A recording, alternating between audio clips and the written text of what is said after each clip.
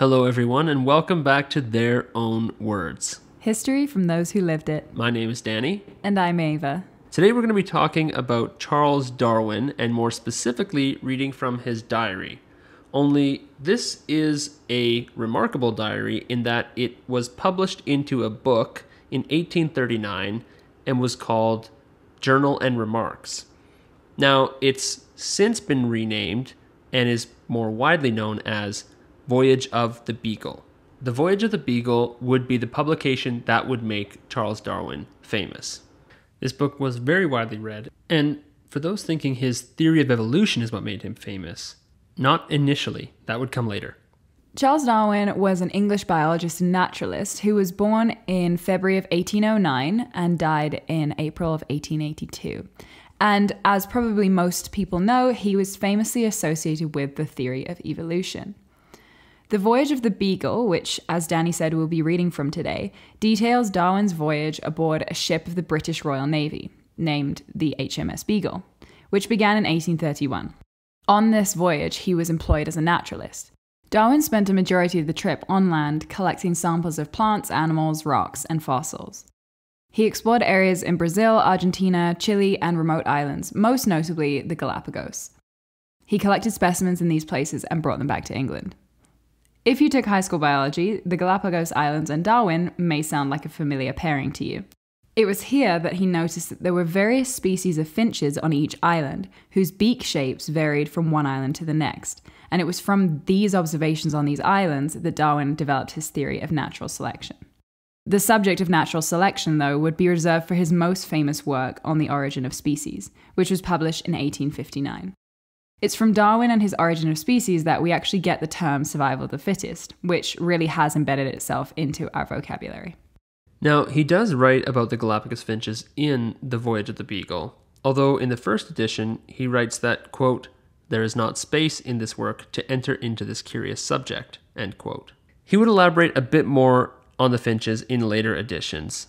The one we're reading from today is from 1845, so there is a bit more context in this edition, which we'll read for you. Charles Darwin was very curious and adventurous. The risks of jumping on a Royal Navy vessel and heading across the ocean to explore the world were very high at the time, but he didn't let that deter him from making his scientific discoveries. Actually, if you've ever seen the Russell Crowe film Master and Commander, which is possibly the greatest movie ever made, You'll notice that Stephen, the ship's doctor and the naturalist on board, is essentially a character based on the life of Charles Darwin. And you get a good idea of what the risks were in going on one of these boats. Okay, so with that context out of the way, let's get to reading some excerpts from The Voyage on the Beagle. Okay, so reading from Chapter 1 St. Jago, Cape Verde Islands. Darwin writes After having been twice driven back by heavy southwestern gales, her Majesty's ship Beagle, a 10 gun brig, under the command of Captain Fitzroy, sailed from Devonport on the 27th of December, 1831. The object of the expedition was to complete the survey of Patagonia and Tierra del Fuego, commenced under Captain King in 1826 to 1830, to survey the shores of Chile, Peru, and of some islands in the Pacific, and to carry a chain of chronometrical measurements round the world. On the 16th of January, 1832, we anchored at Porto Praya in St. Jago, the chief island of the Cape Verde archipelago.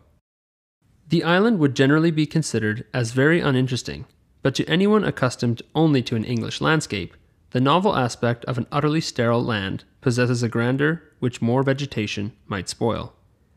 A single green leaf can scarcely be discovered over wide tracts of the lava plains, yet flocks of goats, together with a few cows, contrive to exist. It rains very seldom, but during a short portion of the year, heavy torrents fall, and immediately afterwards, a light vegetation springs out of every crevice. This soon withers, and upon such naturally formed hay the animals live. It had not now rained for an entire year. When the island was discovered, the immediate neighborhood of Porto Praya was clothed with trees, the reckless destruction of which has caused here, as at St. Helena, and at some of the Canary Islands, almost entire sterility. The broad, flat bottomed valleys, many of which serve during a few days only in the season as watercourses, are clothed with thickets of leafless bushes. Few living creatures inhabit these valleys. The commonest bird is a kingfisher, which tamely sits on the branches of the castor oil plant, and thence darts on grasshoppers and lizards. It is brightly colored, but not so beautiful as the European species. In its flight, manners, and place of habitation, which is generally in the driest valley, there is also a wide difference. So already we're getting a picture here of Charles Darwin as the naturalist, somebody who's very observant about the surroundings to which he's been just dropped into. And you can get a sense of why this would be so interesting to somebody reading this in England, because most people would never have had the chance to visit some of these places. They might never have seen images of some of these places. So the images that Darwin is relating in his book here are, for some people, the only experience they'll get of these islands. So, continuing on. In the course of an hour, we arrived at Ribeira Grande and were surprised at the sight of a large ruined fort and cathedral. This little town, before its harbor was filled up, was the principal place on the island. It now presents a melancholy but very picturesque appearance. Having procured a black padre for a guide, and a Spaniard who had served in the Peninsular War as an interpreter, we visited a collection of buildings of which an ancient church formed the principal part. It is here the governors and captain generals of the islands have been buried. Some of the tombstones recorded dates of the 16th century. The heraldic ornaments were the only things in this retired place that reminded us of Europe. The church or chapel formed one side of a quadrangle, in the middle of which a large clump of bananas were growing. On another side was a hospital, containing about a dozen miserable looking inmates. We returned to the venda to eat our dinners. A considerable number of men, women, and children, all as black as jet, collected to watch us.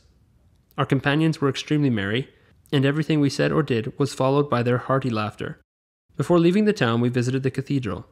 It does not appear so rich as the smaller church, but boasts of a little organ which sent forth singularly inharmonious cries. We presented the black priest with a few shillings, and the Spaniard, patting him on the head, said, with much candour, he thought his colour made no great difference. We then returned, as fast as the ponies would go, to Porto Praya.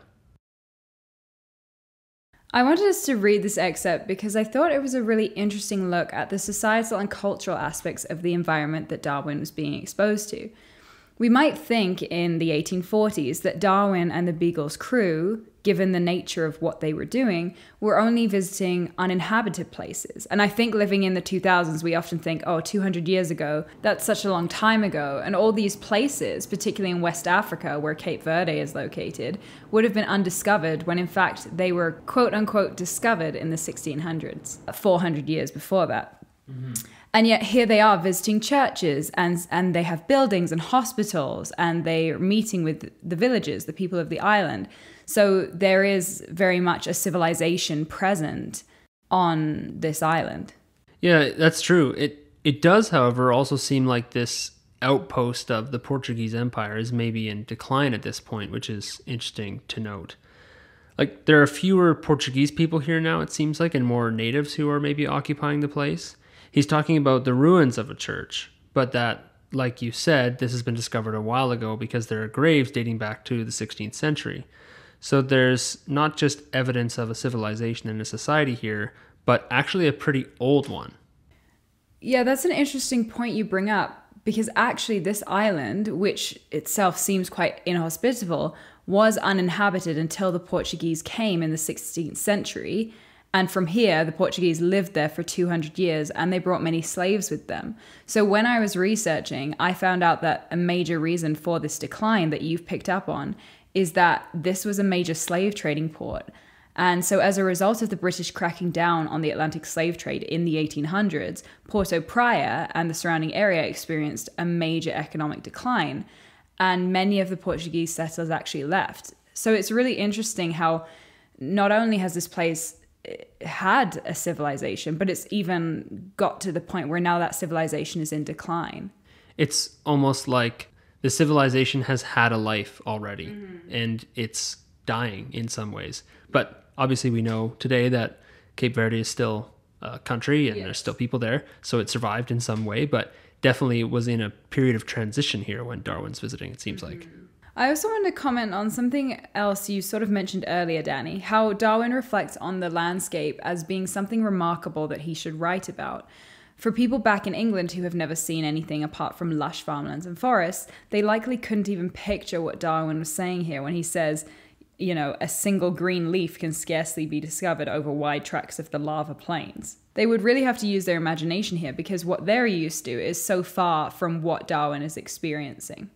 Yeah, and I think I mentioned this earlier, but for them at this time in history, reading was a form of travel for people. And mm-hmm. for many people, it was the only experience of the wider world they would ever get. And speaking of that experience, one aspect that Charles Darwin is also taking care to relate is the interactions he's having with people of another race, which is quite unique for somebody coming from Victorian England. So he goes on to say Fuentes, which is another village they visited, Fuentes is a pretty village with a small stream, and everything appeared to prosper well, excepting, indeed, that which ought to do so most its inhabitants. The black children, completely naked and looking very wretched, were carrying bundles of firewood half as big as their own bodies. And he goes on to write about another village called St. Domingo. The scenery of St. Domingo possesses a beauty totally unexpected from the prevalent gloomy character of the rest of the island. The village is situated at the bottom of a valley, bounded by lofty and jagged walls of stratified lava. The black rocks afford a most striking contrast with the bright green vegetation, which follows the banks of a little stream of clear water. It happened to be a grand feast day, and the village was full of people. On our return, we overtook a party of about twenty young black girls, dressed in excellent taste, their black skins and snow white linen being set off by colored turbans and large shawls. As soon as we approached near, they suddenly all turned round, and covering the path with their shawls, sung with great energy a wild song, beating time with their hands upon their legs. We threw them some vintums, which were received with screams of laughter, and we left them redoubling the noise of their song. So, vintums, by the way, are a type of Portuguese coin. Okay, so Ava, what do we think about this excerpt? I think this is another interesting look into the cultural aspect of the island because we just read an excerpt where we essentially talked about the fact that they actually have a civilization here. It's not quote unquote undiscovered as many people might think. And we talked about the fact that this is a culture, a civilization that was largely imprinted upon Cape Verde by the Portuguese. And yet here we have the other side where there's a more traditional energy as well. So he talks about girls singing a wild song, beating time with their hands upon their legs. He talks about the colored turbans and large shawls. And this would have been not of the colonial influence. This would have been very traditionally African. And so I think it's kind of a neat contrast to read both of those excerpts where we see the colonial influence in the cathedrals, the churches, maybe even the hospitals, and then we see that more traditional influence in the brightly colored shawls and turbans and then the traditional songs and dancing. Mm-hmm. There's a crossing of cultures here, mm-hmm.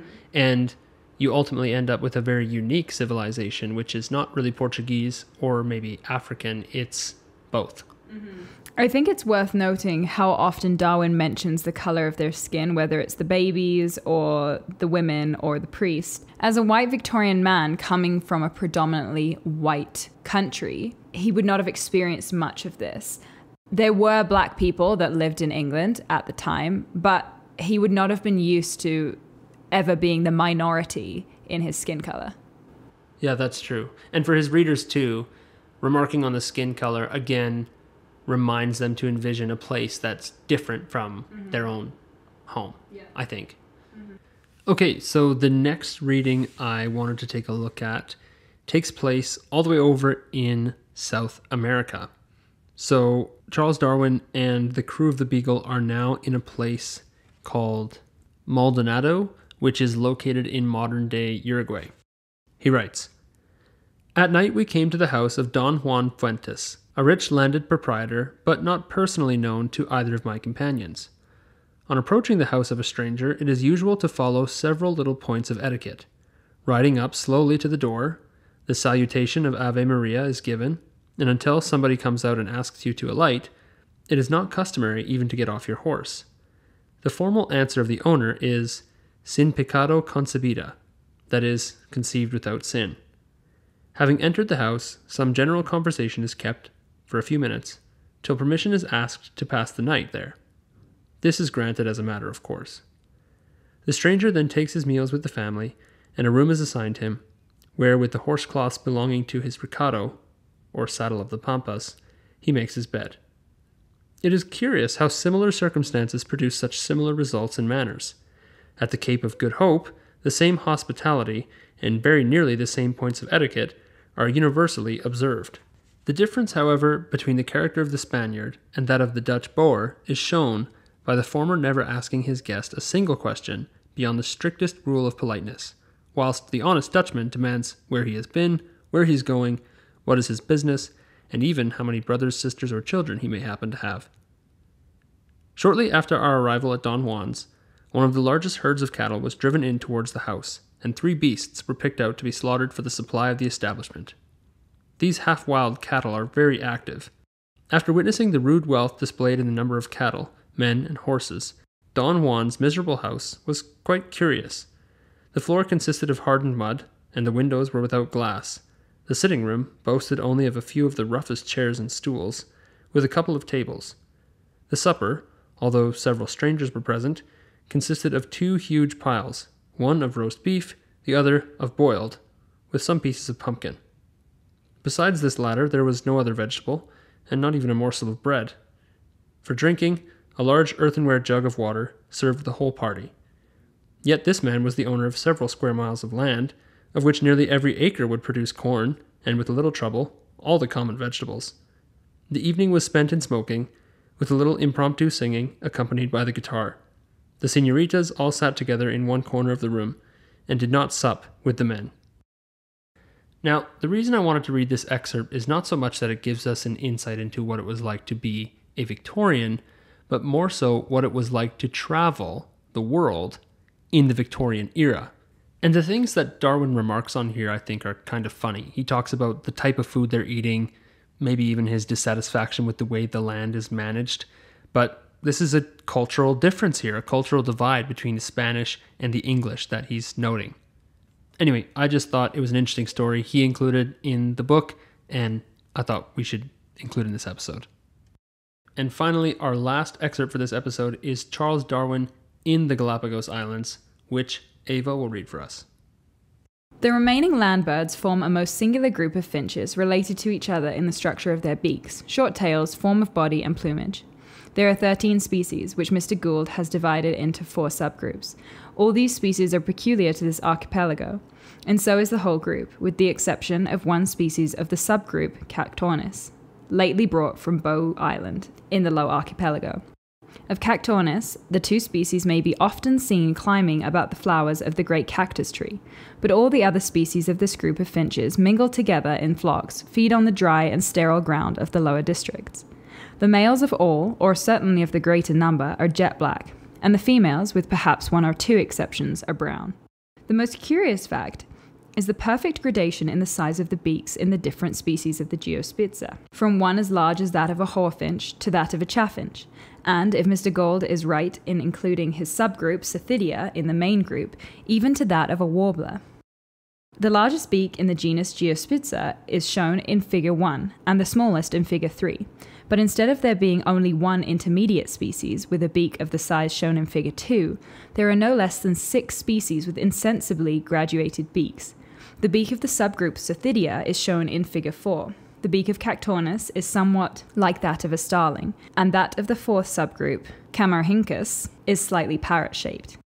Seeing this gradation and diversity of structure in one small, intimately related group of birds, one might really fancy that from an original paucity of birds in this archipelago, one species had been taken and modified for different ends. In a like manner, it might be fancied that a bird, originally a buzzard, had been induced here to undertake the office of the carrion feeding polybori of the American continent. When he says paucity in this instance, that means scarcity, by the way. So these are Darwin's finches, and as Ava mentioned earlier, if you've taken high school biology, you may be familiar with these. So we'll post an image you may have seen before to our website, which is his illustrations of the finches. But what's remarkable about this? This is essentially what you learn in high school biology in the primary source itself. This is him discovering the fact that all these different finches that are essentially the same that are found on these different islands in the Galapagos have adapted to the environments that they are existing in.